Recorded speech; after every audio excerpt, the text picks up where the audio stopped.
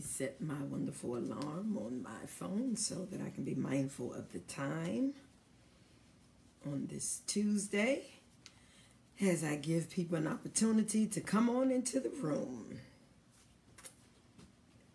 Bless the Lord, Anthony. How are you doing, sir? Glad to see you tuning in tonight. Hey there, Miss Shirley. How are you? Hope you had a wonderful day at work today. Hey there, Marsha. How you doing today, lady? I'm going to be moving forward in this teaching. I believe tonight will actually uh, be the conclusion for this teaching, part three. That's what I think. You know how that goes. Sometimes it lasts a little longer, but it's been a wonderful teaching. Bless the Lord, Pastor Presley. How are you doing today, sir? I'm glad that you are tuning in to tonight's teaching as we continue in this powerful, needed lesson, lesson on spiritual parenting. Amen. And so I'm giving people just a few moments to come into the room. Um, I like to take the opportunity uh, to greet people. I don't spend a lot of time on that. Uh, you like my hair, Shirley? My poetic justice hair? As you all can see, I have braids in because I'm preparing myself. I'm so excited, people of God. I am getting ready to leave in in just a few days to go to Africa. Amen. And so I am so excited about it. Um, I'm looking forward to God doing great and wonderful things as I travel abroad. And so I needed to braid my hair so I could be free and didn't have to worry about that. And so um, I don't see everybody's name that actually pops up. So if I don't, you know, give you a, a, shout out is not that I'm being rude. I just don't see everybody as they come on, but I don't spend a lot of time on that either. Hey there, Marie. I can see that you on in Tyrena. How y'all doing? Hey, my wonderful husband is on too. Hey there, baby. And so tonight, y'all, we're going to go in and get started with uh, uh, this particular teaching on spiritual parenting. It has been such a wonderful teaching. Um, if you missed any of the parts, I would strongly suggest that you go to my YouTube channel. Uh, you can see parts one and two on my YouTube channel. It will truly bless you. Uh, it is a term that we hear a lot of, but we don't have a great understanding. And one of the things that I've shared is that spiritual parenting isn't new. Having a spiritual mother or father, that's nothing new. Amen.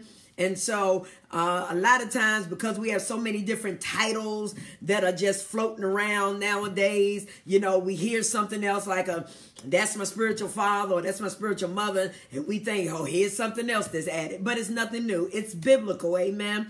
I always like to back things up with scripture. Uh, my foundational text for this particular teaching uh, can be found in First Corinthians uh, chapter 4 and I'm going to look at verse 14. And the subtitle in my Bible, I'm reading from the New King James Version, says, Paul's paternal care. Paternal care.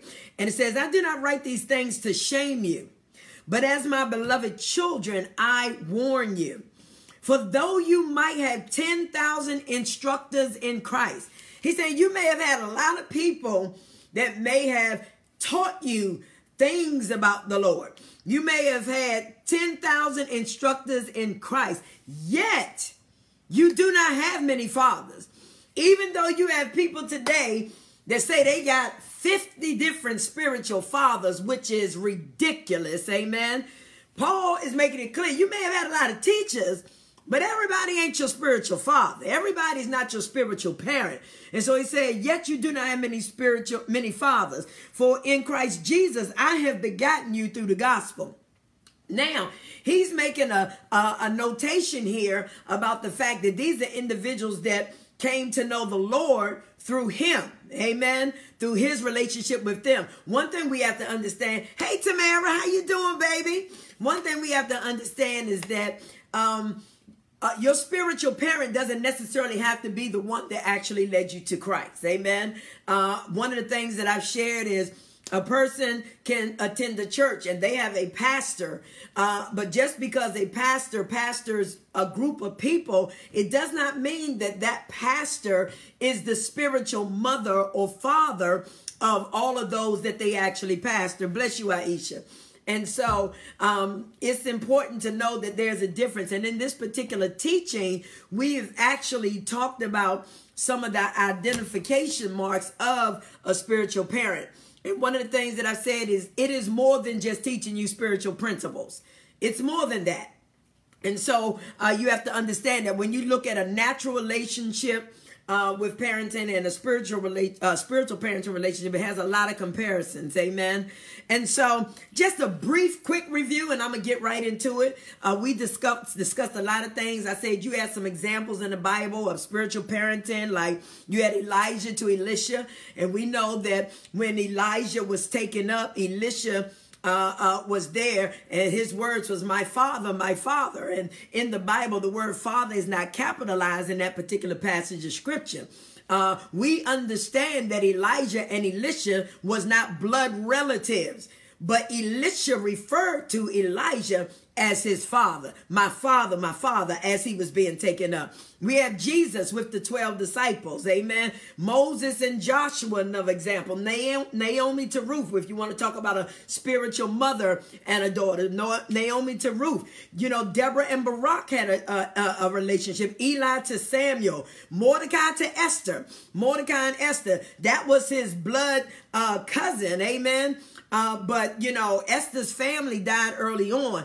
He took her up underneath his wings, but he dealt with her and guided her in so many different ways. And so he was like a spiritual father to her. Hey there, Jackie. And so one of the things that we I shared is that when it comes down to spiritual parenting, one of the key components to that type of relationship is true discipleship. You cannot really be a true spiritual parent to anybody uh, if if if if you don't spend time with them. Discipleship is about spending time with individuals. Look at the life of Jesus. Look at Elijah. Elijah said to Elisha, "If you see me when I go up." And you know, Elijah was going different places and he would tell Elisha, wait, stay here. And Elisha was like, oh, no, I'm going with you. And so you got to understand there's a connection that takes place in a uh, spiritual parenting relationship. And so you can't ignore discipleship when you think about spiritual parenting. Uh, one of the things that I say spiritual parenting involves is intimacy, and intimacy is a closeness. And so it can't be some fly by night relationship with somebody don't even know you. And let's be for real. People are quick to do that today. Okay?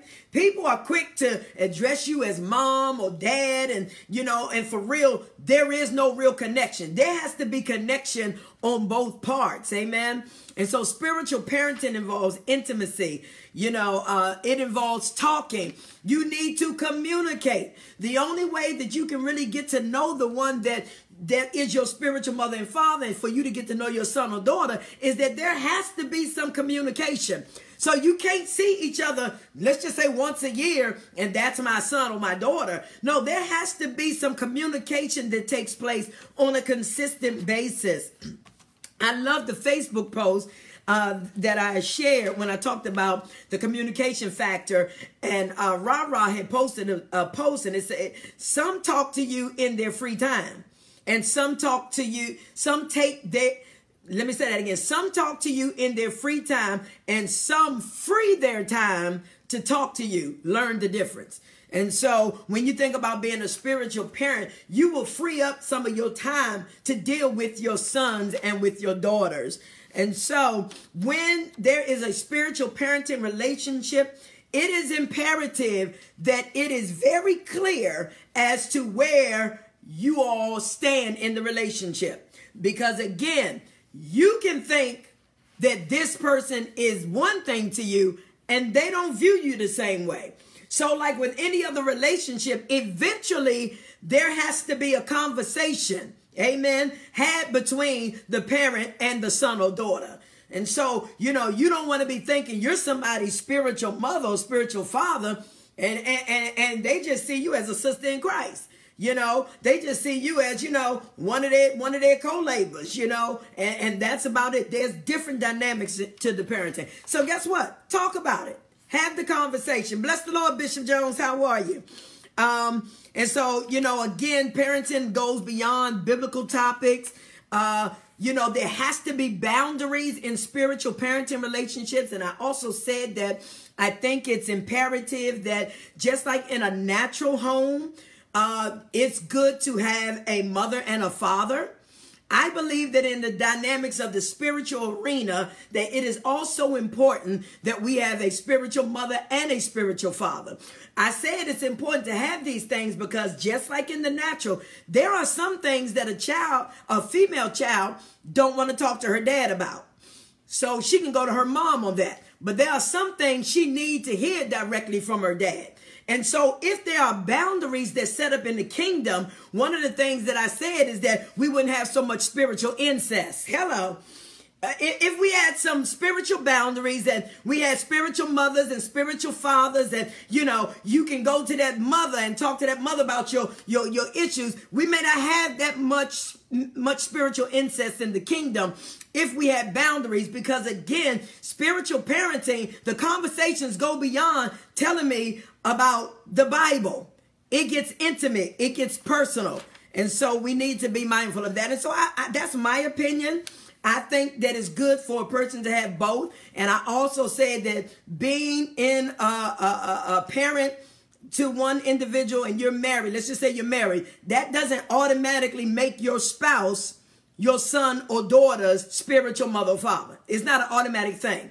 When it comes down to these parenting relationships, there has to be a mutual connection, a mutual drawing to each other. And so you may be a person's spiritual father. That does not make your wife your son or daughter's automatic spiritual parent. It's a wonderful thing if the dynamics work like that, where a husband and wife team is the spiritual parents of a particular son or daughter, you know, uh, but that's not always the case. And so um, when you think, uh, let me see what else I want to review before I get there.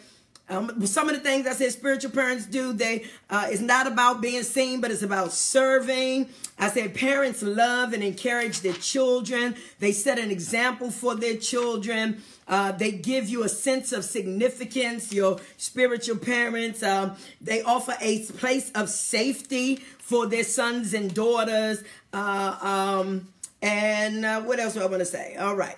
And then when I say, you know, I said a lot of people are in the body of Christ and they feel like something is missing in their life. Um, they may have a desire for a spiritual parent and they may realize that I don't have a spiritual mother or father. Well, you know, if that is something that you desire, and I believe that we all should have that desire, and I believe that there comes a point in time when we all can be a spiritual parent to someone as we grow and mature. Uh, because even when you think about the principles of di- uh, discipleship, you shouldn't always be uh, the one that's being the disciple. You should eventually become a disciple maker, just like Jesus imparted into the 12 and then he sent them on to do the assignment. It should be the same thing. We, just like a parent, we raise our children up. Just think in the natural. We raise our children up. We teach them, but guess what? We want to instill so much good stuff in them so that eventually they will step out and they too will become parents themselves.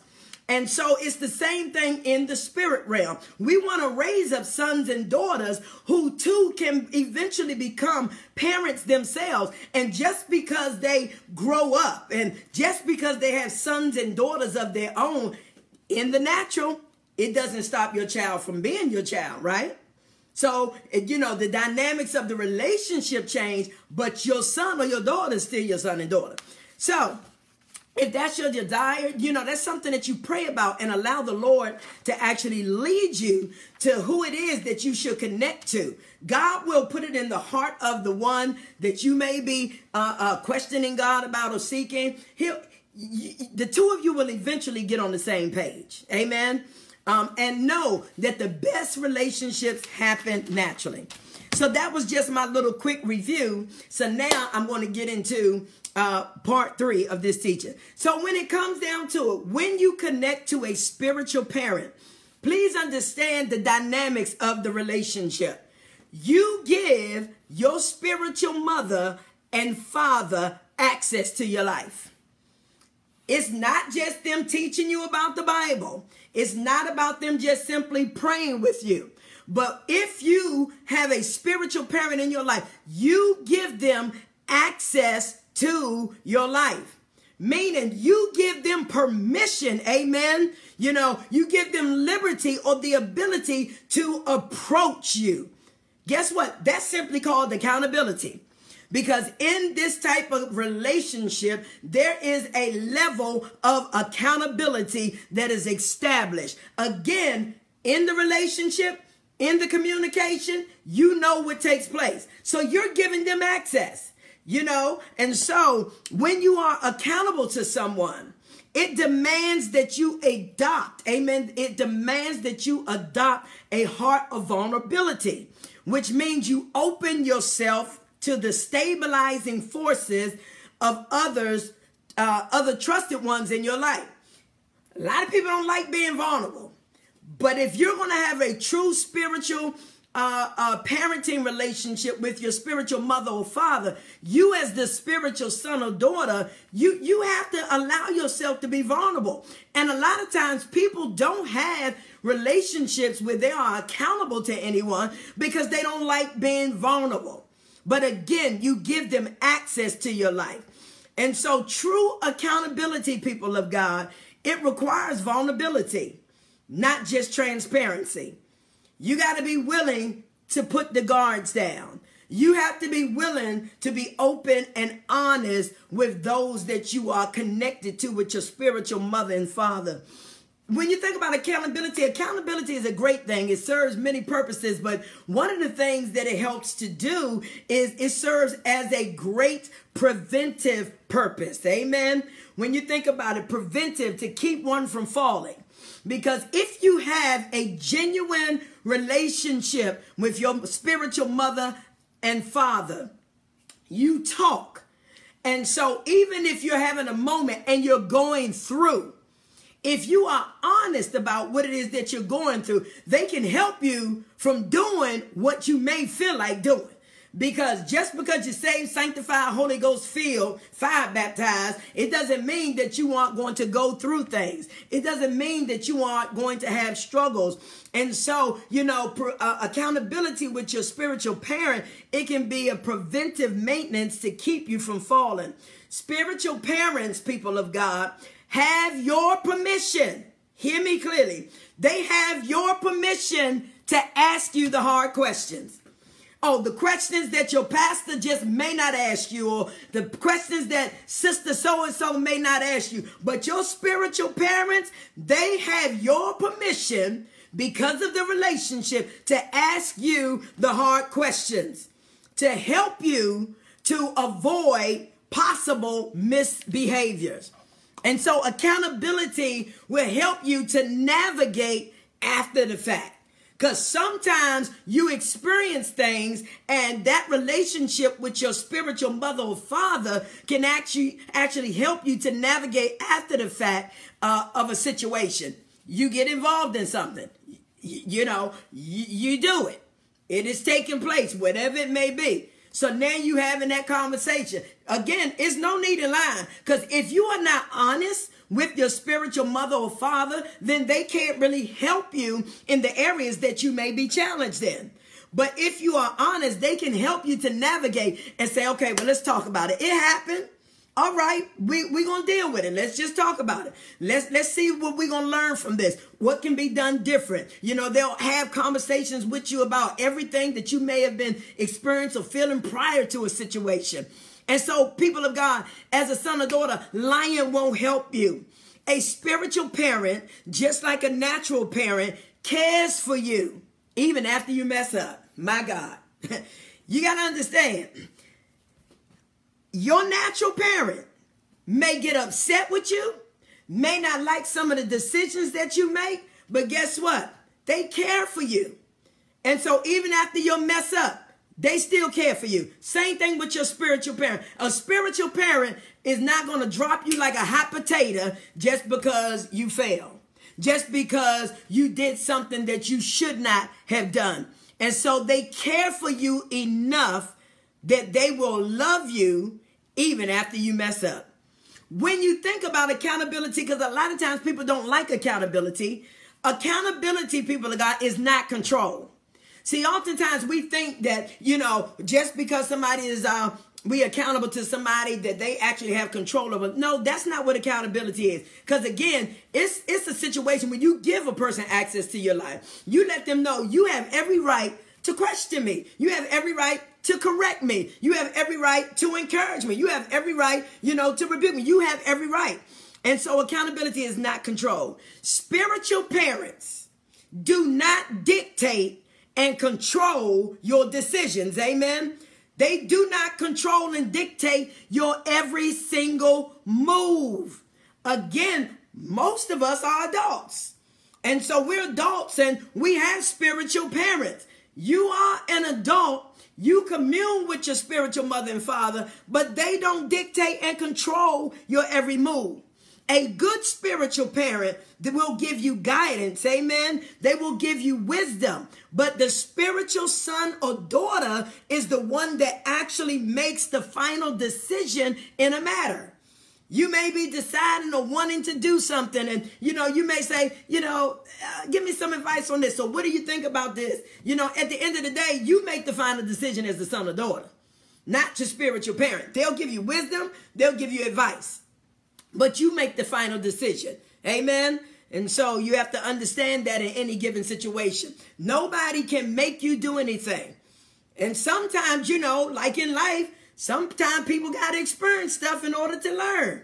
Now, experience is a hard teacher versus wisdom, but you know, you can learn from experience too. And you say, okay, who are our spiritual parents? Are they anybody in particular? Uh, that's a good question your spiritual parents, your spiritual mother or spiritual father is that person that God has really connected you heart to heart with. That spiritual parent may be somebody they may a lot of times in those situations is not etched in stone but usually it may be somebody that may be older than you. They don't have to be 50 years older than you but they sometimes are older than you in the natural. Sometimes they're older than you in the spirit because you can be older in age but spiritually you're immature. Spiritually you may be new in christ. And so it's one of those things where you know, you begin to build a relationship like when you dating somebody.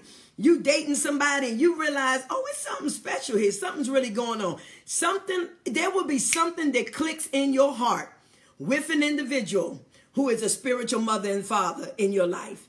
There will be a mutual connection. And the reality of it is, have the conversation. It's important to have the conversation and let it be known, you know, how you all see each other. Amen. And so I pray that that uh, answered you, Aisha. Because again, just because you have a pastor, your pastor isn't necessarily your spiritual mother and father, just because they are your pastor. And so, uh, again, ability, accountability is not control. So at the end of the day, every person is responsible for their own decision. Romans 14, 12, it tells us, so then each of us shall give an account of himself to God. We may give advice to our spiritual sons and daughters, but at the end of the day, they make the final decision. At the end of the day, they have to give an account to God for whatever they do, just like we all do. And so choices activate the reaping and sowing principle. So whatever a son or daughter may do, and even if it goes beyond the wisdom and the guidance of the spiritual mother and father, guess what? Their choices activate the reaping and sowing principle. The word of God remains the same. And so spiritual parents want to teach their sons and daughters to become self-disciplined and to be self-motivated. That is what a spiritual parent wants to do. They want to teach you to be self-disciplined and self-motivated. They simply want to help their children, excuse me, to discern the will of God. We don't want to have to be the ones to tell you everything. We want to teach you. We want to train you. But we want you to be able to hear from God. We may be a voice that God is using in your life. but we want you to be able to discern God's will for your own life. Amen. While we hold you accountable to carrying out his will because a spiritual parent is going to hold you accountable. Bless the Lord, Pastor Teresa. How you doing, beautiful? And so, when it comes down to it, parents push their sons and daughters to be better. When you think about it, in the natural, even with our spiritual sons and daughters, we want to push our sons and daughters to be better. And again, you know, the only way you really gonna know where your spiritual son or daughter is, is you have to communicate in order to know where they really are, what areas they need to work on. Because these are things that you will discover by rubbing lives with them, by spending time with them, by talking to them. So you need to ask them questions. Like I said, a spiritual parent, you give them the, the, the right to ask questions. My, sons, my daughters, let me tell you something, they know on the heartbeat. They'll, they'll, especially if they're single, I don't play with them, so you single. So let me ask you, in, in Mr. Bus Connected. So when last time you had sex? When last time you've been intimately involved? Because you really need to know where they are so that you can know what they're dealing with. You know, hey, you may not, but what, what you feeling right now? So you got to be able to ask these questions. If they used to be ones to get high, you've been, you've been, you've been having any urges lately? You have to know these things. You have to communicate. And so some of the type of questions that you may ask your spiritual sons and daughters, not all at one time, these are things that you talk about over time, but you may ask them about their relationship with Jesus Christ. How's your relationship? You know, uh, uh, um, what are some areas in your life that God is uh, uh actually, you know, pressing you out about right now to work on or to change? Um, how's your thought life been? What's been going on with your mind? Because we know the mind is a, is a, is a, is a serious uh, battlefield. You know, so you had them ask them questions so that you can know not just see and praise the Lord, but no, have them conversations. What's going on with your thought life? What struggles are you having in your life? Let's talk about it. Now, I, I may call you and you may say, I'm blessed and highly favored. Okay, yeah, amen. But what's up with you? Let, let's talk about what's really going on with you. Uh, you know, you know, you can ask them about their spiritual life. Have you shared your faith with anybody? Because again, you deal with so many different dynamics. You know, what are some of the things that have disappointed you the most in your life? You know, communication. Communication is so key. And so it's important to ask those things. Guess what? If they're married, talk to them about their relationship with their spouse, their marriage relationship. How is the marriage? If they are parents, talk to them about their parenting skills and their relationships and, you know, different things of that nature. So it's about communicating. So spiritual parents can share sometimes too. Even though you may be the one that That's one of my daughters right there. Kids talking about she short on. That's right. She know I don't play. I, I will ask you in a heartbeat. We we gonna talk about it. You know, and sometimes I, I've had conversations, they be like, oh my, I can't even believe you just asked me that. Why not? Why, why, why can't you believe I just asked you that? I mean, you know, and a lot of times based on the response, you already know without the answer. And how many y'all know sometimes your spiritual mother and father will ask you a question and they already know. Just like the Lord, when they was in the Garden of Eden and they had sinned and they was trying to hide themselves and he asked them, where are you? You know, where are you? You know, did you think the Lord was unaware of where they were? You know, what God was really trying to see was, was Adam and Eve going to humble themselves enough to be real about what they had done? And so sometimes your spiritual parent will ask you questions that they already know, but they want to uh, see where you really at where, where, you really at? And then you got your you got some of your sons and daughters that they'll always well, you know, uh, let's skip the subject. Can we talk about something else? You know, or I don't want to talk anymore right now. Really? Oh, okay. You may not want to talk about it anymore right now, but guess what? We will talk about it again. Amen. And so again, spiritual parents, as a spiritual parent, please understand. That's right. You need to hit all them like Shirley. Hello.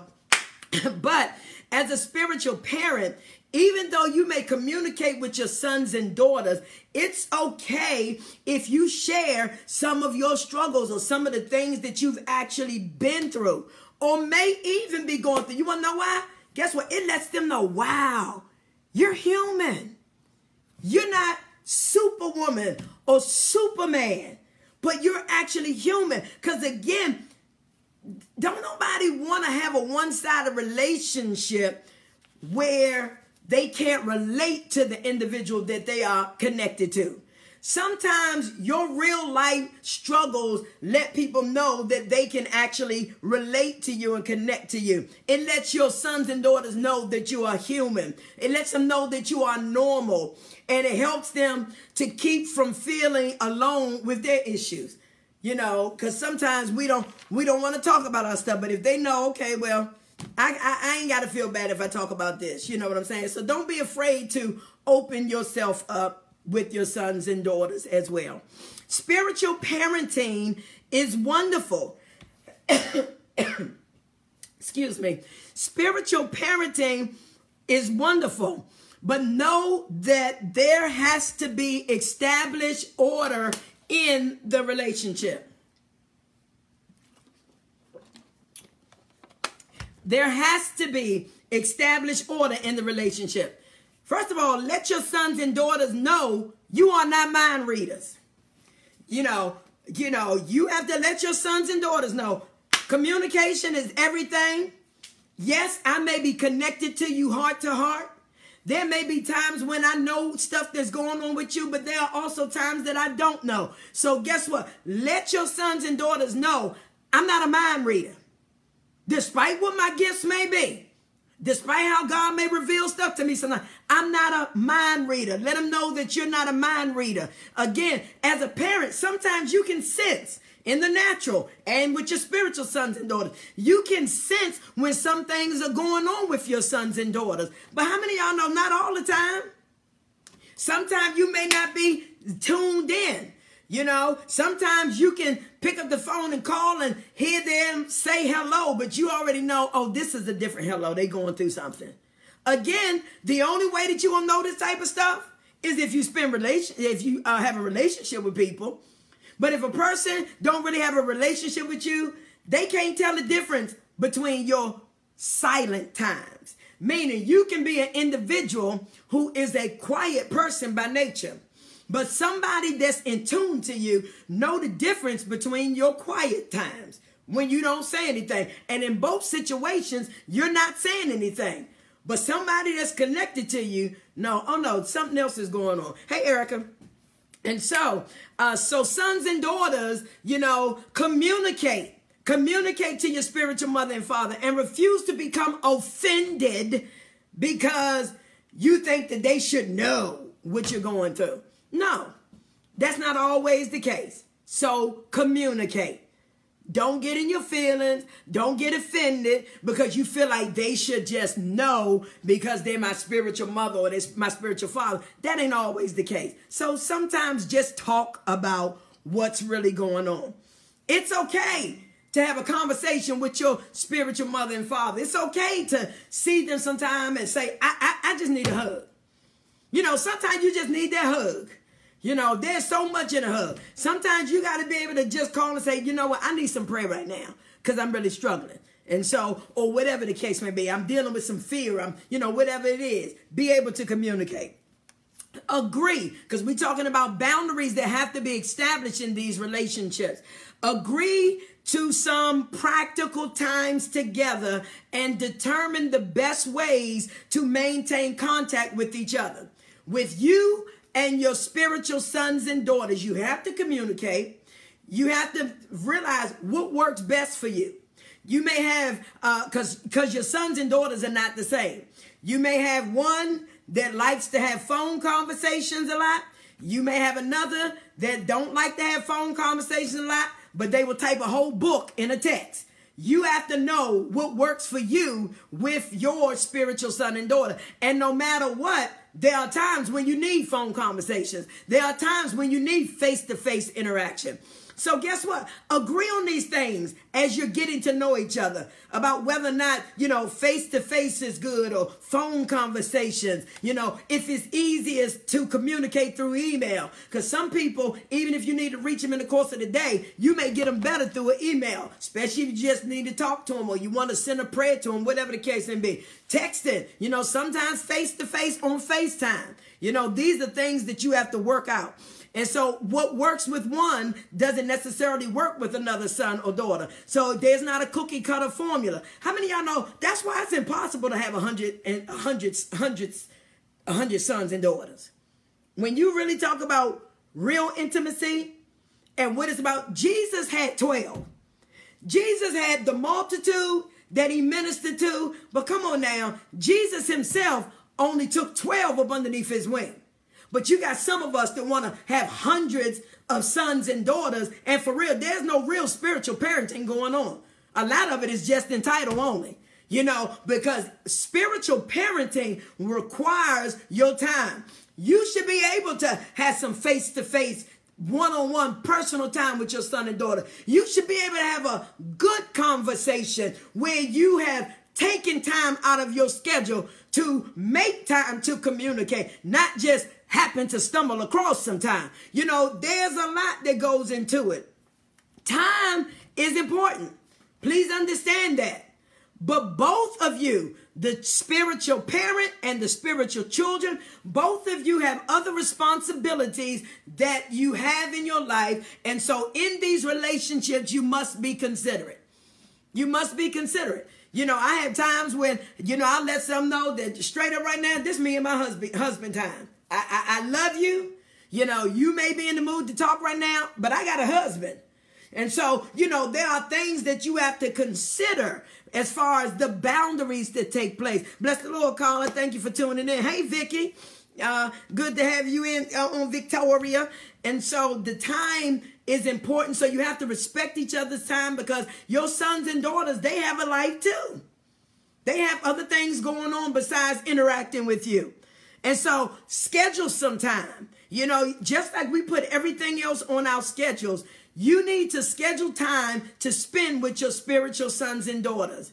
I'm telling you, for those of you all that are on here, and you may have spiritual fathers and you may have spiritual mothers, and you see that a lot of these qualities are missing in the relationship, then maybe there's some things you need to pray about a lot of times people are stepping into positions or, or, or taking on, you know, uh, uh, just feeling good because somebody calling them mom, dad, or whatever the case may be. But, you know, it's a lot to it. And it's something that shouldn't be taken lightly. And that's why you have so many people in the kingdom that are starving. I shared about the guy who was in a mega church who was very active in his church, but he had made a decision that he was leaving his church because he said, if just one of the leaders in this church would take one day out of the month just to sit with me and have coffee with me and talk to me and just see how I'm doing, he said, I might stay. That person was looking for spiritual parenting. And sometimes what a person may have lacked in the natural sense, they may even be looking for some of those things in the spiritual sense from their spiritual parents. So you have to be mindful of all these things. And so, you know, in these relationships, you have to schedule time. You know, I have some individuals that'll say, okay, you know, what's on your schedule this this day? You know, it's good for us to have some time because we take those moments. You know, I had a moment not long ago where, you know, me and one one of my spiritual daughters, she was like, can I go with you? And I was at a point, I just wasn't trying to go anywhere. I was tired, but she was like, Can I go with you? And it was just something in the look of her eye. It was almost I just want to spend some time with you. And so the blessed part about it, we went, the service was canceled, you know, uh, canceled. We end up going and having uh, uh, dinner together, and we just had some good old quality time. You know, again, you have different children that have different needs. Your sons and daughters have different needs, but everybody needs time. So guess what? In your busy schedule, we put everything else on our schedule. Schedule some time with your sons and daughters. Determine how often you all will actually meet and for how long. You know, uh, sometimes you may want to set up one face-to-face meeting a month, once a month. That may be the case. It may be once every two months. It depends. You work it out with your spiritual mother and father, but one face-to-face meeting a month may work for one, while you may have another child, a son and daughter, who needs more time. See, because again, it all depends on where your spiritual son or daughter is in their life. So you may have one that may be a little more mature, may not need that more time or whatever, but you have one that need more time. And not, not, not let me say mature. Because in the natural, I'm thinking about my two kids. I have two kids uh, uh, that I birthed. Uh, one of my daughters has always been very clingy, forever. The other daughter had, was never really clingy. So both of them have different needs. One may want to just come cuddle up and all that and spend more time and laugh. The other one like, what's up, mom? You know, I mean, what's up? You know, we got our own way of communicating. But know your spiritual sons and daughters and deal with them accordingly. Um, uh, planning is good, but guess what? Know that there's nothing wrong with just doing things spontaneous too. Spontaneous interactions with your sons and daughter. When you have spiritual parenting relationships, because we're dealing with setting some uh, established order, you have to understand you can love your spiritual father. You can love your spiritual mother. As a spiritual parent, you can love your sons and daughters. But please understand that relational problems may occur. I don't care how much you love them, relational problems may occur. Good relationships can experience challenges, so don't quit at the first sign of a challenge. If you think about marriage, your husband, your spouse could be the bomb. Y'all have a wonderful relationship, but trust and believe, y'all gonna have the moments when y'all go through.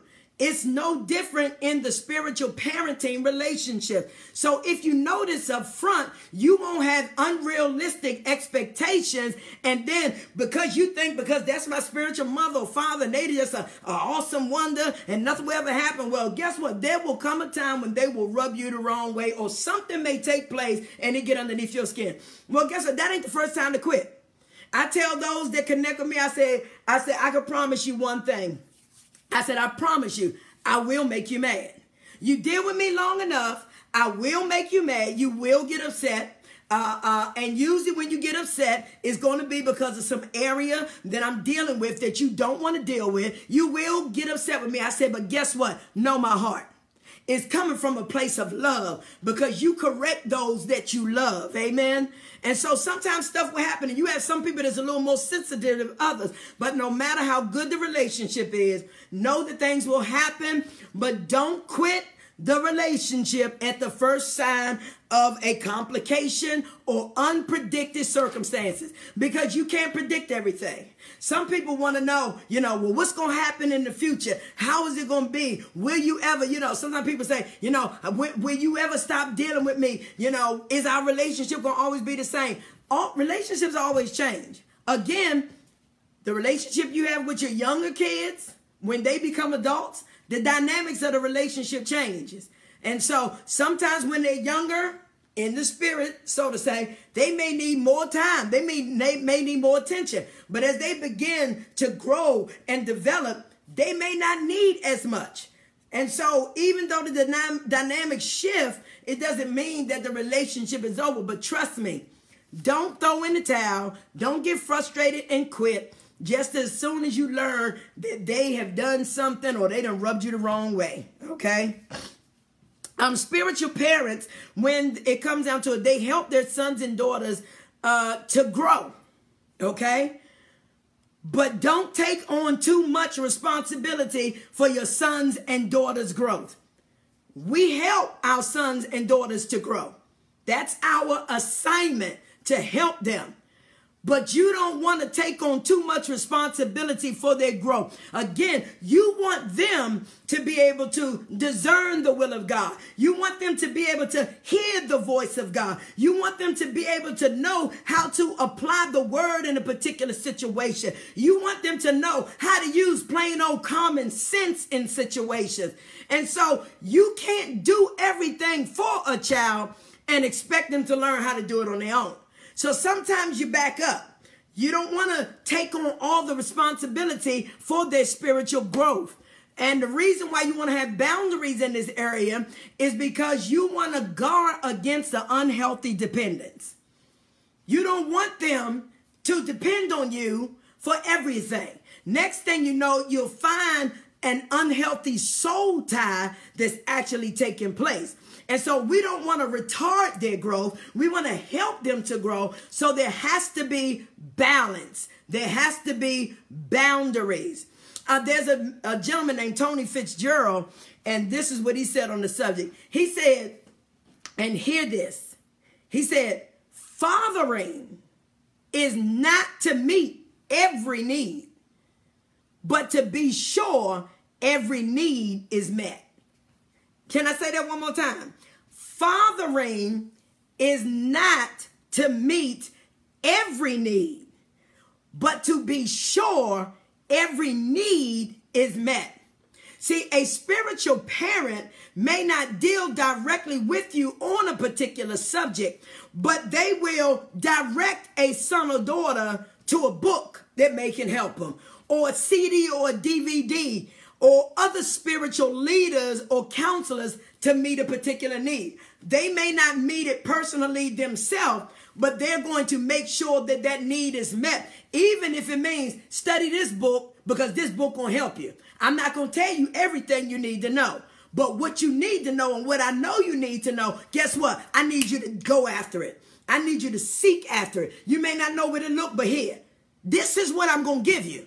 But I'm not going to give it to you on a spoon every single time. And so you have to have the boundaries. Uh, in the relationship, either party, be, if either party becomes possessive or demanding, an unhealthy dependency forms. And we don't want that. Spiritual parents actually push their sons or daughters to have a relationship again with the Holy Spirit more than just trusting in you. Yes, we're your spiritual mother, we're your spiritual father. And yes, we are here to help you and to guide you, but we don't want you to be so dependent upon, upon us that you don't trust the Holy Spirit like you need to. You trust more in the, your spiritual parent than you do the Holy Spirit and it ought not be so. And so, if the dynamics of the relationship shift for whatever reason, because you know, we said sometimes you will have relational problems. Let's just say the dynamics of the spiritual son and daughter relationship changes with this spiritual parenting for whatever reason. Guess what? In well, some relationships do come to an end and and and y'all relationship can shift for whatever reason end well if the relationship must end it doesn't have to end in a negative way. You know it can end in a respectful way. But the bottom line is end well if it must end. Being a spiritual father or mother is not a duty people of god. It's a privilege. It is a privilege and it is an honor for someone that you did not birth from your loins to look to you and respect you as a mother or a father. It is a privilege. Again, everybody don't see you like that. I'm a pastor. I have multiple people that I shepherd. Everybody in my church does not see me as a spiritual mother. I understand that. Am I the pastor to everyone in there? Yes. And I do my assignment well. But you, even as a pastor, you have different relationships with different people. And so, again, just because you pastor people, it doesn't make you their spiritual parent. And so, it is not a duty, it is a privilege. It is something that should never be taken lightly or even entered into without counting the cost. You have to count the cost of what it means to really be somebody's spiritual mother or to be their spiritual father. Count the cost. Spiritual parenting is not easy, but it is rewarding, even with the ups and downs. It's not easy, but just like a natural parent, when you see your children advancing and growing in life and even doing some of the things that you told them, you know, you can give them wisdom and advice, and you don't always know if they're going to take it. But it's a wonderful thing when you can sit back and see the rewards of all that you put into the relationship, the heart to heart relationship. You know, it's, it's a rewarding situation. Like I said, even with the ups and downs, natural and spiritual children have the potential to give you the greatest joy. But how many y'all know those same children have the potential to give you the greatest pain. Now, that's a real one right there. I can think of one of my spiritual daughters from years ago. And, and, and when dynamics changed, and not because of me, but because of some things that she just started to do in her life, that put a wedge in between our relationship and just me seeing her going on that path. She may not have been my blood child, but that thing hurt me to my core like one of my own children.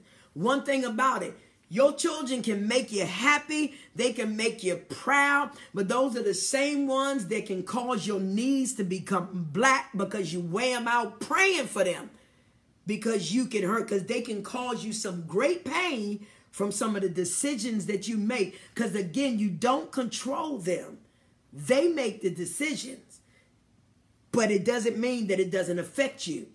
Aisha asked the question, Hey there, Clarence, uh, does getting or having a spiritual parent come natural? Yes. Yes. There should be a natural connection with that individual. It's not something that you should have to force. So, you know, you feel weird to talk to them or don't want to talk to them and things of that nature. No, it's a natural progression. That's why I said it's impossible for somebody to really become your spiritual mother or father and you've only had one encounter with them. Or let's just say for real, you seen them preach. You seen them preach and now they're your mother or father. Really? You don't know them. And guess what? They don't know you. Again, there's so much foolery in the kingdom until it's unreal. But when you think about a real intimate parenting relationship, Jesus Christ knew his 12. Guess what? Joshua walked with Moses. Elijah, Elisha walked with Elijah. When you think about Naomi and Ruth, they was there together. We talking about intimate relationships that are built over time. And so, when it comes down to it, again, it shouldn't be taken lightly. Uh, your spiritual sons and daughters, they can cause you, give you the greatest joy, but they can also be the same ones that can give you the greatest pain. Spiritual parenting, I can't emphasize it enough. It requires time. Busyness is the destroyer of spiritual parenting. Busyness is the destroyer of spiritual parenting.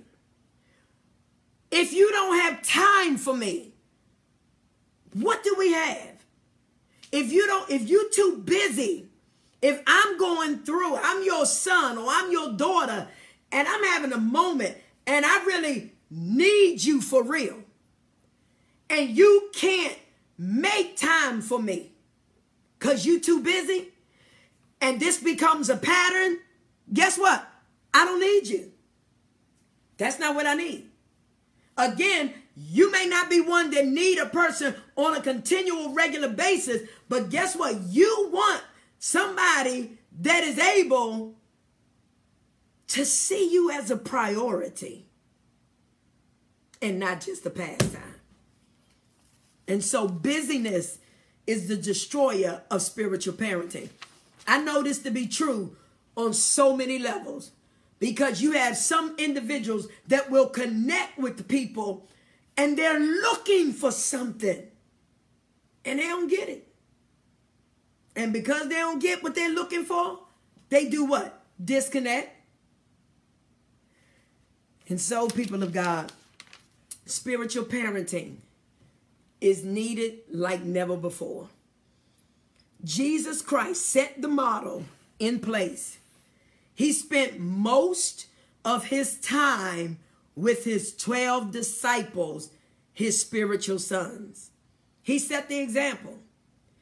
His style of discipleship is rarely seen in the church today. We too focus on other stuff we too focus on program. We just focus on so much stuff that ain't God. We are not following the biblical examples that have been set before us. Jesus put it in motion. It should still be happening today, but a lot of times we just have in church. People have voids in their life. They look or they need spiritual mothers and fathers, but some of us are too busy. And so his style of discipleship, what Jesus did, which set the pace, you don't see it in the churches no more. Again, because people are too busy. And so when it comes down to spiritual parenting, guess what? Call it whatever you want to call it. Whatever name you want to give it. Whether you want to call it mentoring, whether you want to call it discipleship, whether you want to call it coaching, whether you want to call it spiritual fathering or mother, whatever floats your boat. Guess what? It basically boils down to the same thing. Anyone know what that is? Caring about the spiritual growth of another person. That's what spiritual parenting is about. Caring about the spiritual growth of another person and being willing to commit yourself and dedicate yourself to helping an individual to be all that they can be in Christ Jesus. It's missing, it's needed, but I believe this was a teaching that was necessary because a lot of people don't have understanding on it. The Bible is clear because, like Paul said, you don't have many fathers. He may not have had the people addressing him as father because, you know, there's a passage that say, call no man father. But we understood the dynamics. Even when he said, you haven't had many fathers. You may have had many teachers, but you ain't had many fathers. He knew his responsibility. He knew who he was in their life. And so I pray that this teaching has been a blessing. Part one, that was good. That was off the chain good. Part two was good. Part one and two, if you missed it, again, go to my YouTube channel, uh, look up Apostle Tonya Mitchell, and you will find those parts there. This actually uh, completes this teaching on spiritual parenting. I pray that it has truly been a blessing to you and that you've gotten more understanding. And as believers, we should all desire to take someone underneath our wing. We should desire. You don't have to be a pastor to be a spiritual mother and father. You don't have to be a bishop or an apostle to be somebody's spiritual mother or father. You just have to be a person that cares enough to pour into the life of another person. Thank you, Aisha. You say I'm the bomb.com. Hey. So y'all keep me in prayer. I will not be on doing any Tuesday night lives for the next couple of weeks because I will be in Nigeria. I am so excited. I'm getting ready to roll out of here. Uh, guess what, y'all? Saturday is my birthday. Hey, hey, look, y'all. Don't I look good for 51? 51. Hey. Yes, Saturday is my birthday. Uh, Sunday, wheels up on the plane, and I'm headed to Nigeria. And so um, just keep me in your prayers. Again, I'm excited. I'm looking forward to God doing some great things as I travel abroad uh, in into international territories. And so, again, whenever you come on, you say, no. You say, I just look good. Thank you, baby. My husband said, no, you just look good. I just look good, period. Ain't even got nothing to do with the age 51, just period. I, I know that's right. So, anyway, um, uh, I, if this teaching has been a blessing to you, you know, I always put the information up there for you to actually sow. You can sow just to bless me tonight. You can sow a seed because you want to say your birthday Saturday, you turning 51. Hey, happy birthday. You may want to be an individual that sows into me getting to Africa as well as uh, uh, uh, being able to function while I'm there. If anybody knows anything about traveling on an international scale, it is costly. And can I tell you, I thank God because when this door opened, I I stepped out in faith because I literally did not have the money at all to go, to get the shots, to do the visa, to get the passport, all of that. I didn't have it. I didn't even have a clue as to how much it would actually cost. But I thank God because he has shown himself faithful. And I am going because people have been a blessing. I've said it doesn't matter if it's a small seed or a large seed because all of it adds up. And because people can may have just seen me on Facebook, I will get a notification and say I'm sowing into good ground. And so I thank you in advance. You still got time to sow before I go. But anyway, I thank you all for tuning in. I pray that you have been blessed. Hey there, Lemuel, how you doing, sir? And so I pray that this teaching has been a blessing to you. If you have questions, um, you can type your questions even after I get off because I go back and I look at all of the comments. Um, if you have questions, you can inbox me if you need more understanding or anything. Just inbox me. Hey there, Bishop Brown. How you doing, sir? And so again, go and look at parts one and part two if you missed it. Because this is a teaching that needs to be taught. Because with all that getting, get understanding. We won't have so many people feeling depleted in the kingdom of God if they knew what to look for from a spiritual mother and father. It is more than just a title and it's more than just a hug. It's a lot to being somebody's spiritual mother and father. And it goes beyond preaching the gospel because pastors preach the gospel every week to their congregation. But again, they're not the mother and the father of everyone that they pastor. Yes, they're their pastor, but parenting is personal. Parenting is intimate. And so I love you all. Enjoy the rest of your night. I'm out.